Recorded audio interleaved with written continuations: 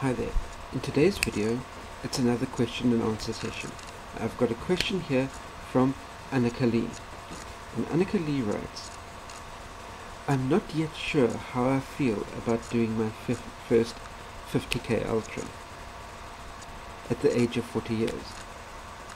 I've done four full marathons and I've even done a back-to-back race, racing Saturday and Sunday on the same weekend but I'm a little nervous about my chances of making it to the finish line of a 50k. Now Anneke, your question raises two items. Number one is you feeling nervous about tackling this new distance. Yes, it's from your marathon up to 50k, you're looking at some people say, oh well, that's only 8k's. I mean, you've managed to do 42 what's an extra 8? Well, what's an extra 8? An extra 8 is effectively 20% of your race distance that you've done up to marathon distance. So you're in doing a 20% increase.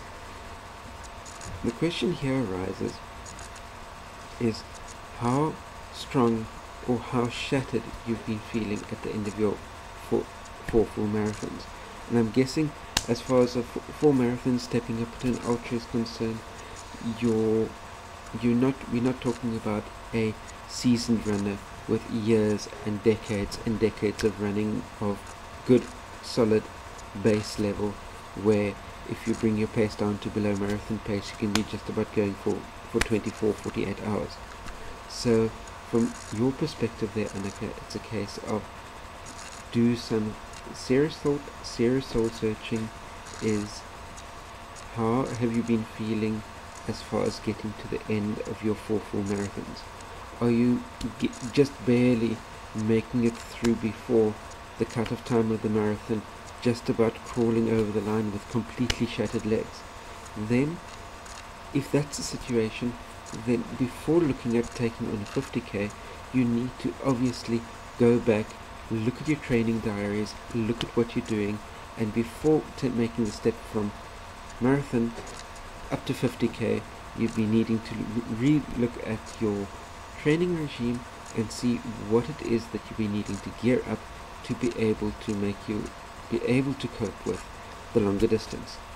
If, on the other hand, your marathon programs have gotten you to the fitness level where you're blasting through your marathon, cruising through the finish line, and you can you're feeling like as you're crossing the finish line in your marathon, wait, I can actually go on for another 5 10 Ks. In other words, your body and your fitness level is already there where you're able to physically cope with your with the 50k then the only thing you really need to be doing is looking at the mental aspect. Are you mentally on your game able to cope with the with the additional distance?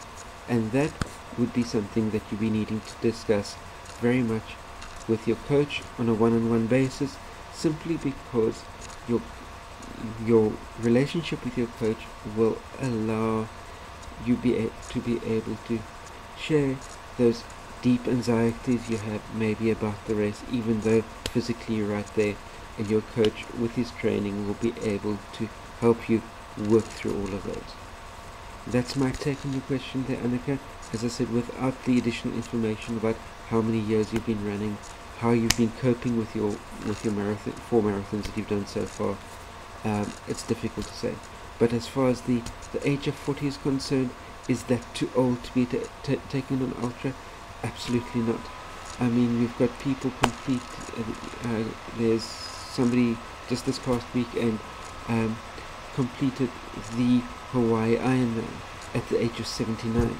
You've got Chris Horner, he won the Tour of Spain at the age of 40. So really, the age of 40 is not too old to be able to be handling endurance events. As you get older, you, especially if you're being continually building base and continually keeping yourself within the le levels where you're not causing yourself injury, you'll be able to build and build and build on a on a basic endurance base and keep going to a good age. So that's my your question there, Anneke. And for all the rest of you, if any of you have got any comments about what Anneke should be doing, please post them in the comment section down below. Also, any questions you might have, post them down below. Click the like button, share this amongst your friends, and please click the subscribe button down, down below. That way you'll be able to keep up to date on new videos as I post them on a week to week basis. Please stay safe out there. See you next time. Cheers.